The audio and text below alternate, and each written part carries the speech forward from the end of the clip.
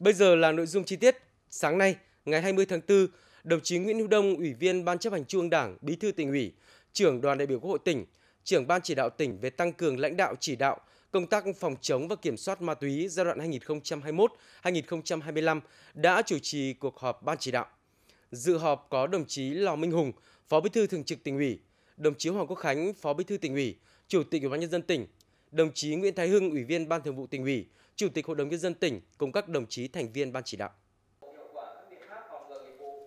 Trong quý 1 năm nay, tỉnh Sơn La duy trì và nâng cao hiệu quả hoạt động của các tổ chức quần chúng tham gia công tác phòng chống ma túy ở cơ sở.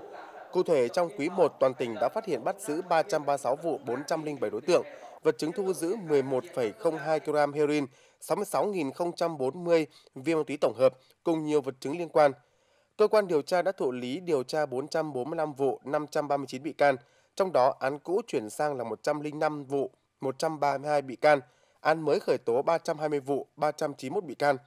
Viện Kiểm sát Nhân dân hai cấp đã thụ lý kiểm sát điều tra 200 vụ, 233 bị can, truy tố 110 vụ, 154 bị can. Tòa án Nhân dân hai cấp đã thụ lý giải quyết xét xử 265 vụ, 351 bị cáo, phạm các tội về ma túy.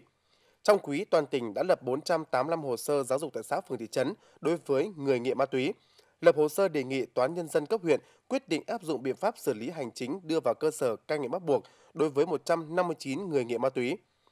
Tại cuộc họp, các đại biểu đã thảo luận về những khó khăn, các kiến nghị đề xuất trong công tác phòng chống tội phạm ma túy, công tác cai nghiện ma túy.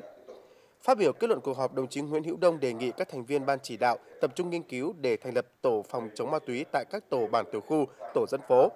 bổ sung tăng cường công tác phòng chống ma túy trong học đường, tại các tụ điểm giải trí, xây dựng kế hoạch tạo con việc làm cho những người cai nghiện thành công trở về tái hòa nhập cộng đồng.